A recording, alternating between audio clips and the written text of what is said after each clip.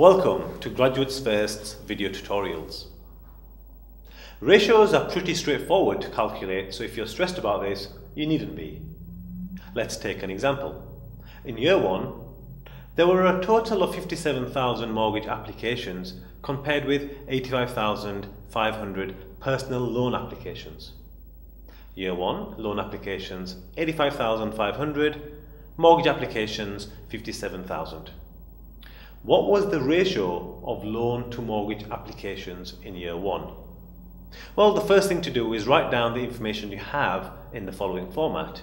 Loans to mortgages, 85,500 to 57,000. What this shows is that for every 85,500 loans, there were 57,000 mortgages.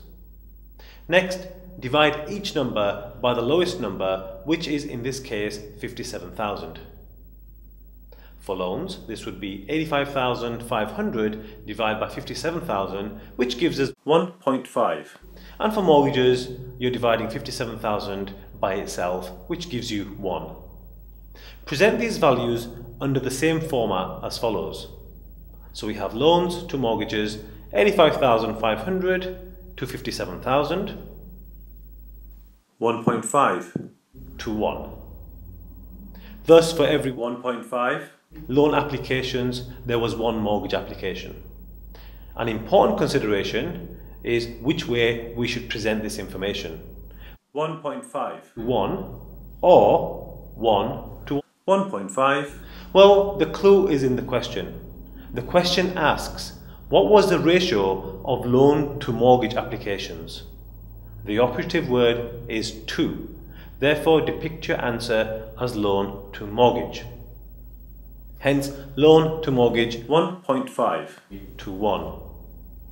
Finally, we can choose to round up these values to whole numbers, as often they make more business sense.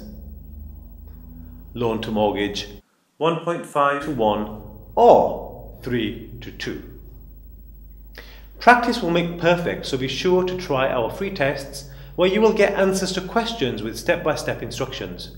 Remember, it's not the quantity of tests that matter, but rather doing fewer tests and practicing them in depth will encourage learning.